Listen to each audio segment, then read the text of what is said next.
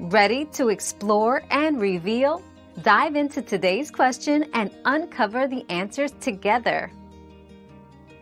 Severe cramps during your period, known as dysmenorrhea, can occur due to various reasons, including hormonal imbalances, uterine fibroids, or endometriosis.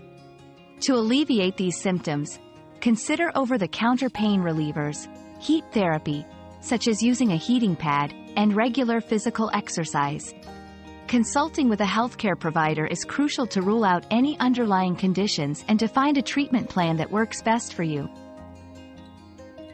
We've quenched today's curiosity, but there's always more to learn. Keep the curiosity alive by subscribing and joining us for our next adventure.